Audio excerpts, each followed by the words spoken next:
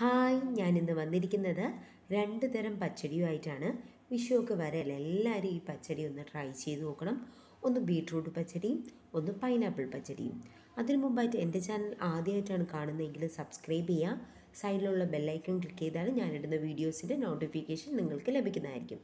അപ്പോൾ നമുക്ക് തുടങ്ങിയാലോ?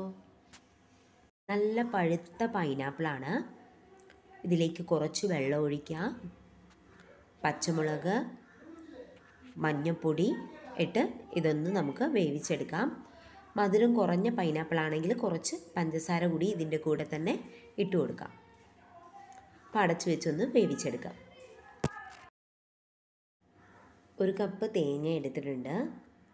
ഇതിലേക്ക് നല്ല ജീരകം കറിവേപ്പില കുറച്ച് വെള്ളം.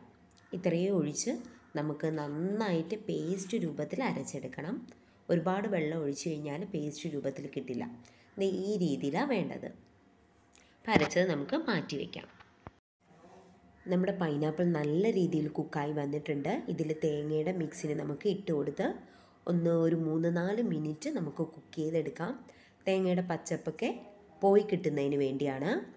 ഒന്ന് അടച്ചു വെച്ച് ഒരു മൂന്ന് നാല് മിനിറ്റ് നമുക്ക് കുക്ക് ചെയ്തെടുക്കാം.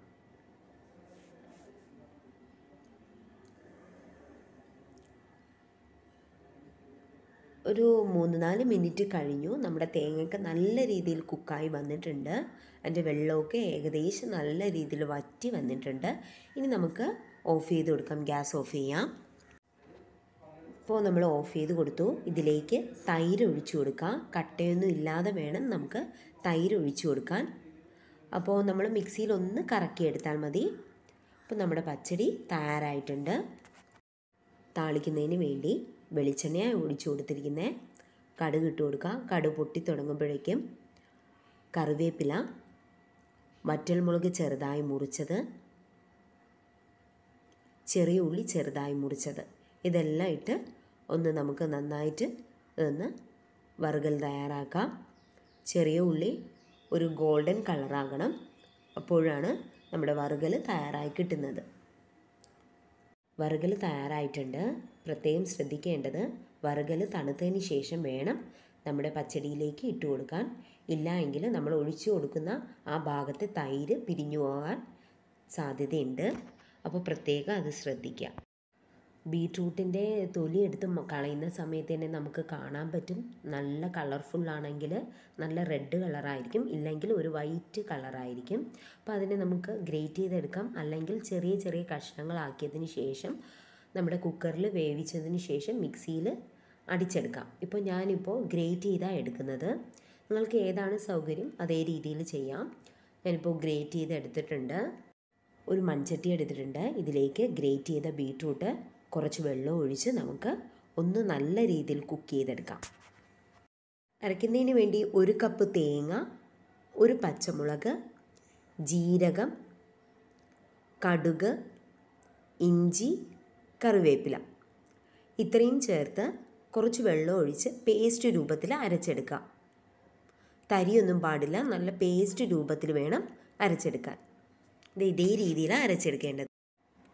നമ്മുടെ ബീട്രൂട്ട് ഏകദേശം ഒന്ന് കുക്കായി വന്നിട്ടുണ്ട്. കുറച്ച് വെള്ളം കൂടി വറ്റാനുണ്ട്. അതുകൂടി ഒന്ന് വറ്റി കിട്ടട്ടെ. ഏകദേശം വെള്ളമൊക്കെ ഒരുവിധം വറ്റി നല്ല രീതിയിൽ കുക്കായി വന്നു. ഇതിലേക്ക് നമ്മുടെ അരച്ച് വെച്ച തേങ്ങയുടെ മിക്സ് ഇട്ട് കൊടുക്കാം. നന്നായിട്ട് നമ്മുടെ ബീട്രൂട്ടിലേക്ക് മിക്സ് ചെയ്തെടുക്കാം. നല്ല രീതിയിൽ നമ്മുടെ പച്ചപ്പൊക്കെ പോയി നല്ല രീതിയിൽ ബീട്രൂട്ടിലേക്ക് നമ്മുടെ തേങ്ങ മിക്സായി ഒന്ന് കുക്കായി കിട്ടണം. ഒന്ന് അടച്ചു വെച്ച് നമുക്ക് വേണമെങ്കിൽ കുക്ക് ചെയ്യാം. ബീട്രൂട്ടും തേങ്ങയെല്ലാം നല്ല മിക്സായി നല്ല രീതിയിൽ കുക്കായി കിട്ടിയിട്ടുണ്ട്. ഇതിലേക്ക് ഒരു കപ്പോളം തൈര് ഒഴിച്ചു കൊടുക്കുക. കട്ടയൊന്നും ഇല്ലാതെ ലഭിക്കുന്നതിന് വേണ്ടി മിക്സിയിലൊന്ന് കറക്കിയതിന് ശേഷം തൈര് ഒഴിച്ചു കൊടുക്കുക. പ്രത്യേകം ശ്രദ്ധിക്കുക. ഗ്യാസ് ഓഫ് ചെയ്തതിന് ശേഷം വേണം തൈര് ഒഴിച്ചു കൊടുക്കാൻ. ഇല്ല നമ്മുടെ തൈര് പിരിഞ്ഞു പോകാൻ ചാൻസ് വളരെ കൂടുതലാണ്.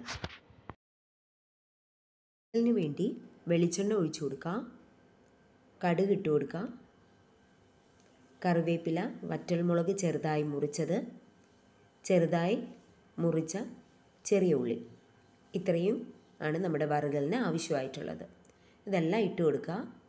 ചെറിയ ഉള്ളി ഒരു ഗോൾഡൻ കളറാവണം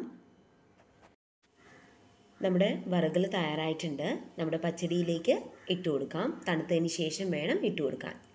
രണ്ട് പച്ചടി ഇപ്പോൾ തയ്യാറായി. എല്ലാവരും ഈ പച്ചടി ഒന്ന് ട്രൈ ചെയ്ത് നോക്കാം ഇഷ്ടപ്പെട്ടാൽ ലൈക്ക് ചെയ്യുക. നിങ്ങളുടെ അഭിപ്രായങ്ങൾ കമന്റായി ചെയ്യുക. അടുത്ത വീഡിയോ ആയിട്ട് നമുക്കിനി കാണാം. Okay bye